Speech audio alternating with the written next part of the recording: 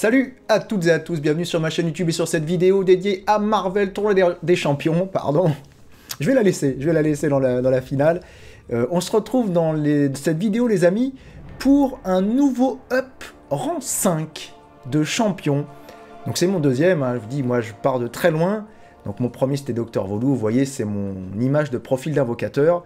Et donc, et donc, il y a eu vraiment de, un grand questionnement au sujet de mon deuxième de mon second rang 5, 4 étoiles. Alors j'avais euh, plusieurs pistes. Du côté des sciences, j'avais Hulk ou Captain America.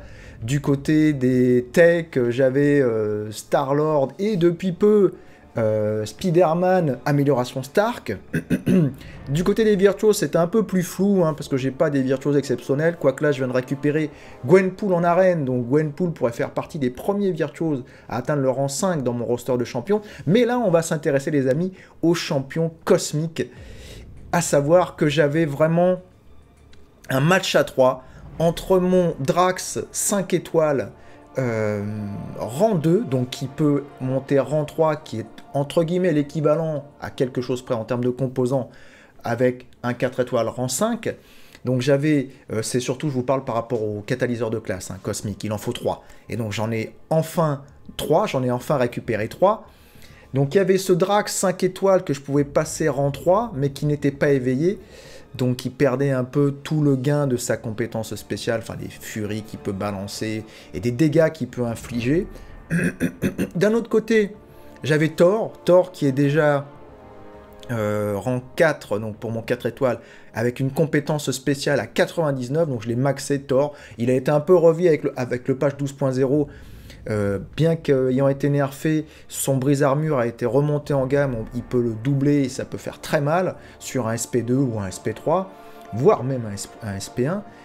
Et il y avait Hyperion que j'avais récupéré en arène, les amis. Hyperion qui est une machine à distribuer des patates, c'est l'équivalent de Marvel de Superman hein, chez les DC Comics qui a surtout un énorme gain de pouvoir, euh, qui a une faculté, donc qui est immunisé contre le poison, qui a une faculté d'envoyer du, super pouvoir 2, du super pouvoir 3 qui peut étourdir. Donc j'avais un peu ces trois champions entre lesquels j'hésitais. Et donc roulement de tambour, les amis, mon dévolu s'est jeté sur... Alors je vais aller quand même sur les cosmiques pour vous faire le... Je vais mettre 5-4 étoiles. Voilà, il s'est jeté sur... Et non, vous voyez, ce n'est pas Drax 3, euh, étoiles, rang 3, niveau 5, enfin 5 euh, étoiles, ce n'est pas Thor, donc qui est mon 4 étoiles, rang 4, c'est Hyperion, que j'ai monté au rang 5. Donc vous voyez en tâche de fond mon up, mais que j'ai fait assez rapidement, hein, de mon up rang 5 d'Hyperion, et on se rend compte qu'en termes de statistiques, au rang 5, c'est quand même un mid-shield, ce qu'on appelle un mid-shield dans les euh, RPG, dans les MMO RPG, c'est-à-dire c'est un sac à points de vie parce qu'il a 17 000 points de vie quand il est monté au rang 5, donc c'est une bonne stat pour un champion 4 étoiles rang 5. Vous voyez que sa compétence spéciale est à 51. On voit il a 1126 en puissance d'attaque, en coef d'attaque, donc ça c'est pas mal. On voit par contre la contrepartie, c'est qu'en taux de coup critique et en dégâts critiques, il est assez bas. Par contre, vous voyez au niveau du pool de points de vie, il est énorme. Pénétration de blocage 3000, c'est pas mal. Classe d'armure 326. On va dire que c'est correct, c'est correct, c'est dans la, la, moitié haute, on va dire. Ensuite, en termes de synergie, je vous rappelle qu'il a des synergies intéressantes en critique avec le petit père Strange ou Iron Man. Alors Iron Man qu'on peut ressortir maintenant, étant donné qu'il y a le Spider-Man Amélioration Star qui est revenu. Mais bon, moi Iron Man j'utilise très peu, mais ça serait plus un personnage que je vais mettre en synergie pour le taux de coup critique, l'augmentation du taux de coup critique avec Doctor Strange. Et sinon, la classe d'armure qui augmente avec Thor. Mais là, choisir dans les cosmiques, si vous devez mettre un cosmique dans votre team, ça sera plutôt Hyperion, et du coup, Thor sera mis de côté. Ensuite, on voit qu'il a Furie, Incinéré, Étourdissement et Brise-Armure. C'est ça qui est intéressant avec ce champion. C'est que c'est vraiment, comme je vous le dis, une machine à balancer des gros starts. Le petit point négatif, négatif. Il n'a pas de contrôle du pouvoir de l'adversaire. Mais par contre, son pouvoir à lui monte tellement vite que des fois, les matchs vont très très rapidement. Puis je vous invite après cette présentation à voir les quelques matchs que j'ai fait contre les Top Gun de Marvel Tournoi des Champions. Évidemment, dans un duel, euh, dès que vous êtes rang 5 pour un 4 étoiles, même avec en face de vous un très gros champion. Il n'y a quasiment pas de match tellement l'IA euh, est pas très forte, on va dire. Bon, j'ai eu 2-3 euh, finishes un peu chauds, mais vous allez voir que j'ai roulé sur tous les hauts du panier de Marvel Tournée de champion avec ce joueur, parce ce champion, parce qu'il est exceptionnel. Et on va revenir un petit peu sur ses compétences. Je reviendrai après sur la compétence spéciale. Mais on voit qu'il est immunisé contre le poison. Ça peut être très bon en quête d'alliance, en quête d'histoire, en guerre d'alliance également. Donc c'est vraiment un atout qu'il soit immunisé contre le poison. Attaque puissante, ça je vous conseille de l'utiliser, hein. ça monte son dégât brut parce que vous voyez, vous avez vu qu'il a euh, peu de coups critiques, peu de dégâts de coups critiques, donc il va falloir jouer sur l'attaque puissante et sur les furies d'attaque puissante si vous voulez infliger du dégât instantané euh, qui soit vraiment un peu plus conséquent. Donc n'hésitez pas à balancer son attaque puissante dès que vous pouvez, 40% de chance d'activer la furie qui augmente votre attaque de, enfin en tout cas pour mon champion, de 661,8 pendant 10 secondes 40%, ça peut paraître peu, mais son attaque puissante, elle est à coups multiples. Donc il, fait 5 euh, ou 6 coups, je crois. Et donc sur ces 6 coups, vous avez forcément un moment ou un autre où votre furie va au moins s'activer une fois, voire deux, voire trois, voire plus. En tout cas, au moins une fois, elle va s'activer. Donc n'hésitez pas à utiliser l'attaque puissante. Vous le verrez dans mon combat contre euh, le Winter Soldier. Je suis allé l'opposer au Winter Soldier. C'est un combat assez long, hein, parce que du coup, il a des dégâts bruts qui sont pas euh, vraiment faramineux. Tout, lui, ce sur quoi il joue, c'est sur son super pouvoir, son SP2, son SP1, son SP3. Et donc contre le Winter Soldier, j'ai voulu la jouer uniquement en SP1, lui faire déclencher son SP1. Donc le combat était un petit peu long. Donc on voit que sur son super pouvoir, il a incinération. Ça, c'est très bien pour enlever les blocages parfaits de l'adversaire et réduire sa stade de blocage basique.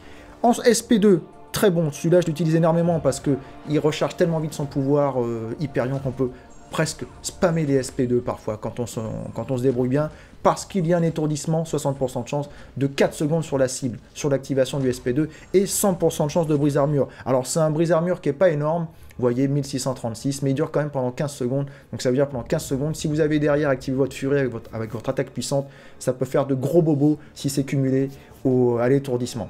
Donc vraiment le SP2 à utiliser en priorité avec Hyperion et son SP3, donc 100% de chance de gagner jusqu'à 3 charges cosmiques. Donc ça, ça va être bien, parce que les charges cosmiques, euh, je vous explique, c'est ce qui sert à augmenter la résistance physique et, la, et le niveau d'attaque, bon, on le voit juste en dessous, de Hyperion, donc vous pouvez en cumuler jusqu'à 3. Donc les charges cosmiques, en fait, bon, vous pouvez les activer euh, quand vous balancez le SP3, mais sinon, quand vous laissez votre barre de puissance au maximum, vous n'utilisez plus de super pouvoir, petit à petit, les charges cosmiques, c'est le sort de, radiation qu'on voit sur le ceinturon d'Hyperion. Hein. Donc c'est une radiation jaune que vous voyez s'afficher à l'écran. Euh, s'accumule jusqu'à 3 quand vous avez votre pouvoir à fond. Et plus vous les accumulez, donc au nombre de 3, plus vous gagnez en résistance physique et en dégâts d'attaque passive. Donc 550 d'attaque par charge, donc ça monte au-delà des 1650, et 580 de résistance physique par charge, donc ça monte autour des 1700, euh, là, là c'est un peu plus compliqué, 8 x 3, 24, oui c'est ça, 1740. 1740 de plus en résistance physique, donc ça c'est intéressant pour les patates que vous pouvez récupérer, que vous pouvez euh, encaisser. Et donc après, à cela, on ajoute je vais pas dire la cerise sur le gâteau parce que c'est à double tranchant, hein. c'est pas la maîtrise, mais c'est un peu tout comme. C'est-à-dire que il a la possibilité de se soigner Hyperion, mais c'est vraiment pas la base, les mécaniques de son gameplay. C'est vraiment dans les situations extrêmes ou sur des combats très longs, bah genre dans le Royaume des légendes, comme vous voyez sur la démo que je fais avec le Winter Soldier. C'est à certains moments je fais des erreurs, et donc c'est bien là d'avoir ce gain de santé. Donc vous faites un dash arrière, vous restez en bloc pendant deux secondes, et si vous avez donc les trois charges cosmiques d'activer, de cumuler, eh bien, il est converti en soins cosmiques, et là, ça vous soigne de 2500 pendant 15 secondes. Donc 2500 de points de vie sur ces 17 000. C'est une petite portion, mais c'est quand même une portion qui vous rassure et qui vous remet un petit peu dans la course. Par contre, le contre-coup, donc le double tranchant, c'est pour ça que vous parlais de double tranchant, c'est que après avoir utilisé soins cosmiques, Hyperion ne peut pas générer de charge cosmique pendant 45 secondes. Donc ça veut dire que vous perdez en dégâts, vous perdez en résistance physique.